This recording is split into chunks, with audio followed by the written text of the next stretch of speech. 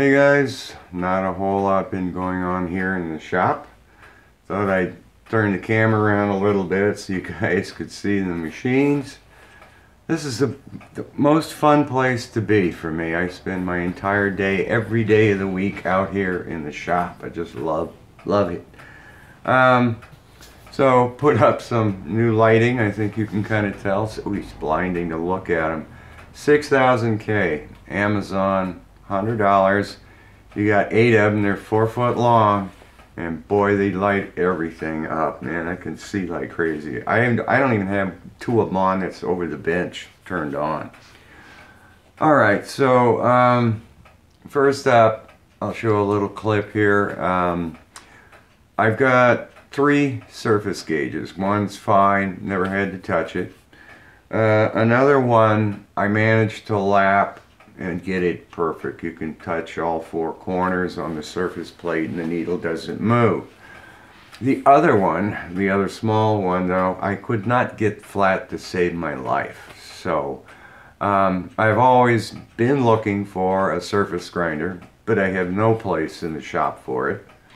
I've looked for maybe luck I would find a benchtop grinder, no luck. But I have seen YouTube videos of people um, turning their mill into a surface grinder. Well, I've got a D-bit grinder and I've got lots of different cups. Made a little arbor for it, stuck it in the mill, diamond tool, cleaned it off, got it flat, put the um, surface gauge in there upside down, ran it over it. Now in this clip, the finish you'll see is incredible. Oh, there's not much of the clip because for some reason the camera cut off but um, yeah, bottom line is you cannot turn the mill into a surface grinder because it. I had it within a few tenths. Now it's a few thousandths crooked. You touch the corner and the needle moves everywhere. So uh, unless it's just my mill, you know, mini mill, the column flexes, I don't know. But for what it's worth, here's the clip. I just have to, I'm holding the camera by hand. I have to show this this actually works. It's a terrible wheel. It wobbles all over the place, but um, it's taking this thing flat. So I'll try to run it once, holding the camera, and I'm barely taking Z down. It's not even a foul. I'm just like slightly, oh gee, that was a lot. Uh, how do I hold it? I made um, tram tool long time ago for the mill, but um, there's it's a three inch vise so I've only got so much to do it. So I wound up taking two uh, one two three blocks putting them together clamping them in the vise and then coming down on them to tram the mill. I've always been looking on eBay for something at least six inches long a thick parallel uh, square gauge block something. The second you go past four inches, the price goes way through the roof, up into hundreds and hundreds. But I stumbled across this, and I'll show opening it up, and I was blown away. I think it was 80 or a $100, and it should have been well up over $800. So here it is, guys. Well, they've always kind of um, cheated a bit, I guess, to tram the mill so I wind up putting two, one, two, three blocks like that in the vise, clamp it, hammer them down. So I've got a six inch span to tram off of, but I've always, I wanted something better. So I'm constantly looking on eBay for a six inch yeah, parallel that's thick or gauge block. The square gauge blocks cost a fortune. So anything you get get anything over like two inches, price jumps astronomically. I looked at I looked at and I found this. You won't believe this. I can't believe it. How did he put it together? Oh, he did this. Evidently, it's a machinist that was retiring. We went back and forth, and he's just trying to get rid of stuff.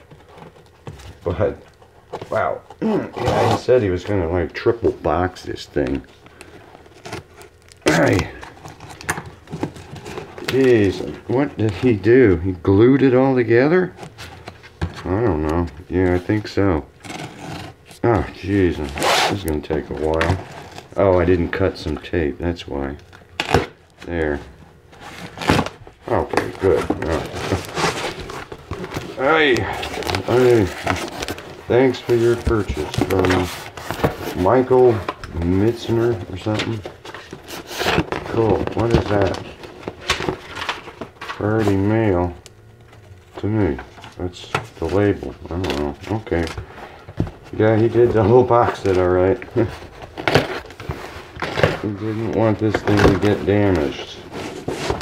So creative guy, great. A whole bunch of peanuts. I hate that, but uh dig it out. It is heavy too, I'll tell you that. One square gauge block. Look at this thing. I think I can use that to tram the mill.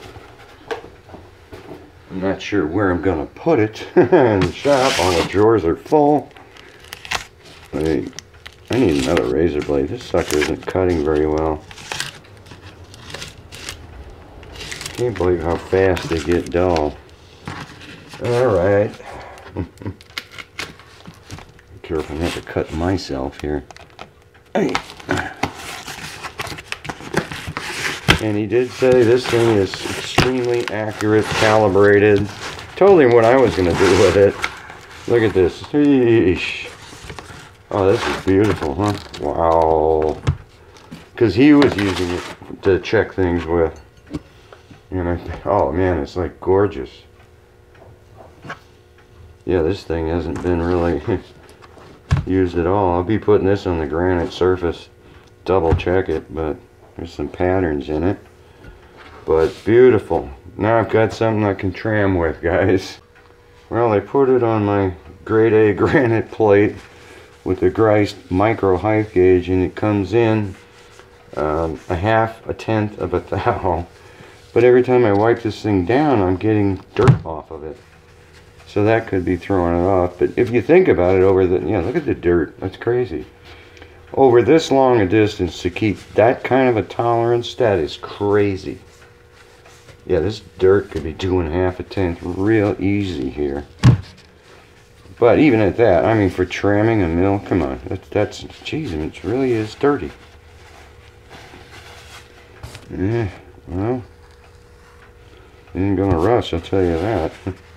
Actually, I'm to put it in with my, uh, in the drawer with, look at the dirt, tons of it. Put it in the drawer with the Pratt & Whitney set, gauge box set. Yeah, this probably is what's throwing it. But yeah, it's ringing on that uh, granite plate, I'll tell you that. Fourth side, 500 millimeter, $80.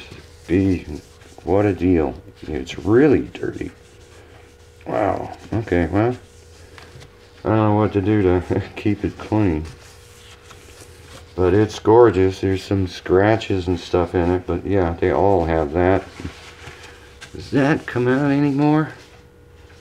Yeah, there's a bunch of junk coming out of it. Oh well, I'll mess with it off camera. So, I wonder, I bet you this sucker too, when you stand it up, it's probably parallel I'm getting dirt all over it. Alright, next up, I've always loved Kodiak cutting tools. And I stumbled on eBay this set of center cutting coated end mills. Beautiful from them. I think it was $60, 58 or something like that. And it goes from 10 thousandths, 20, 30, all the way up to 100 thousandths. So I'll probably wind up breaking the 10 thousandths one, but they are neat and they're in the drawer. So here's receiving the end mills. Kodiak cutting tools. This was, I think this was an, e yeah, this was eBay because it doesn't say um, Amazon on it, but Amazon does carry it. Um, I like Kodiak, K-O-D-I-A-K. Micro grain to give great finishes, carbide, and I figured, well, maybe I should get a very small set. I mean, you guys are going to love this. I'm surprised it's in this small a package, but, oh, where is it? Uh -huh, yeah, great. The block is separate. I think this is US made. That's the block. Huh. cheesy block. So the tools have to be hidden in here, all stuck in the tape. Right there. Nothing else in it. Alright. And oh, they're in tubes. That's pretty cool. I like that. Because I don't want to, I don't have room in the drawer for this box. But these things are just like every size there is.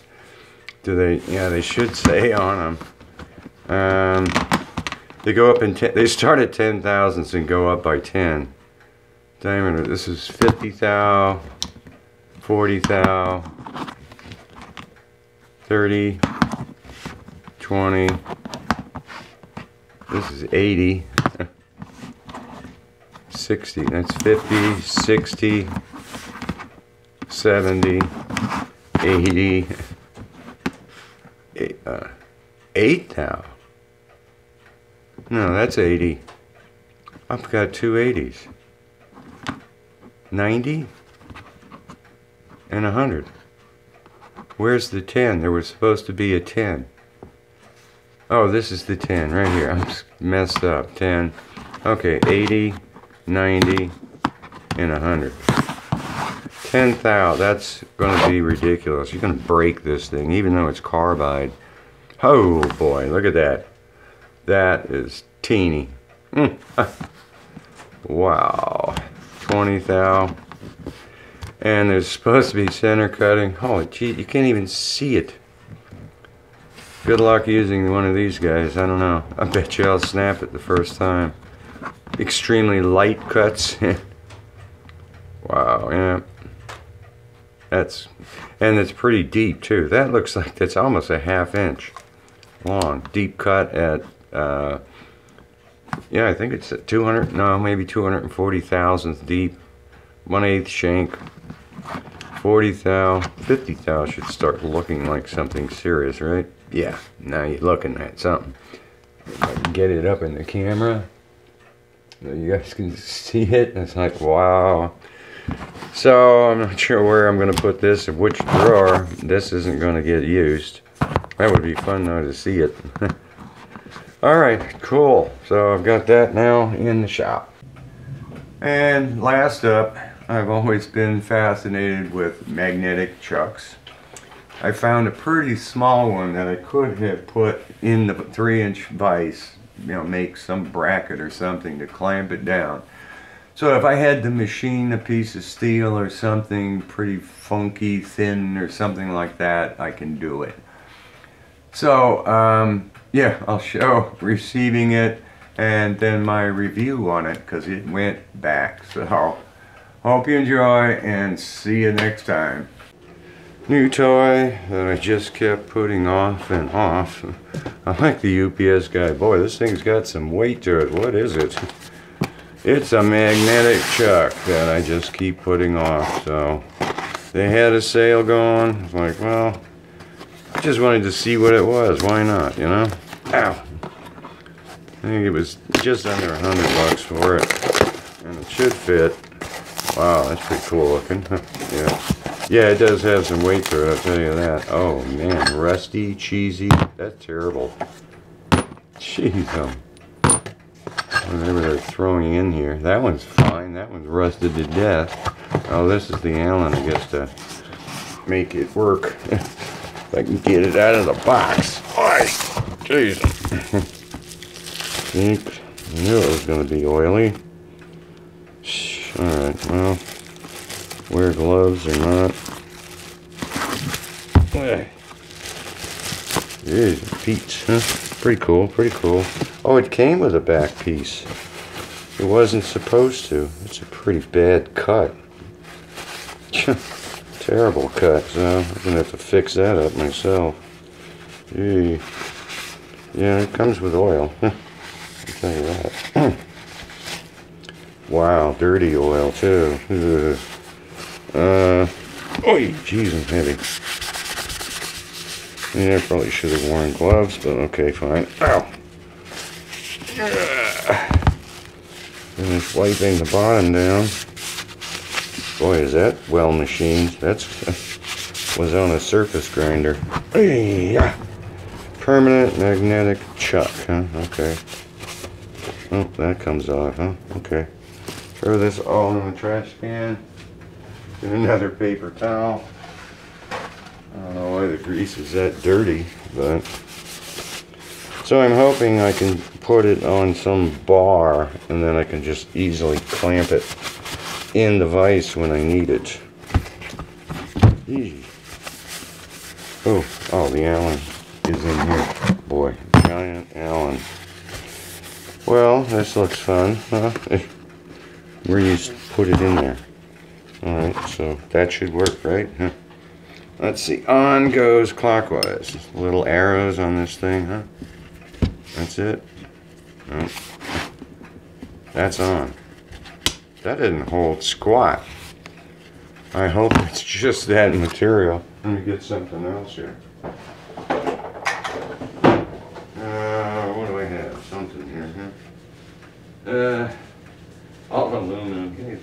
Steel, huh? Uh, where? Here. Yeah, here's something. I guess. 1018. Yeah, okay. That isn't moving. Good. Scared me. That material. These go in the trash can. That's terrible looking. Alright, so it'll be fun here. I gotta um, take this back piece off and straighten it out. So I got a magnetic chuck. What was it? Seven inches by four inches. So that should be good enough for the shop. Well, not too happy the more I look at this guy. It seems like, yeah, the box is pretty beat up here. Beat out on the side. Jeez, because, um, you know, rust on one, that's pretty bad, but, you know, wire, wheel, or whatever, clean it up. But evidently, it slid into the side, because there's some pretty heavy damage here in the side. Like it was dropped on those things or something. It's not, not nice at all. This guy, one side was like somebody just manually hacksawed it off. It was at such an angle no big deal. I've got a mill, so I've already kind of squared it up. But one side's like way longer than the other. Big deal, again. Um, and I was looking at this edge. It's like this hole is hand filed. It's terrible. I was thinking, all right, yeah, I can go in there with an end mill and clean the whole hole up. No big if I could get it apart. But I just realized I can't take it apart because this is glued on both halves and this is hand filed here. It's like they did put it on straight. It looks like it's straight so I'm not sure why you'd have to file that off. But the one that really bugs me is the scratches in the top. There's one little one. One two three four five. These two you can't feel. This one's pretty deep. And I don't have a surface grinder to um, correct that with. So I'm not sure what I'm going to do.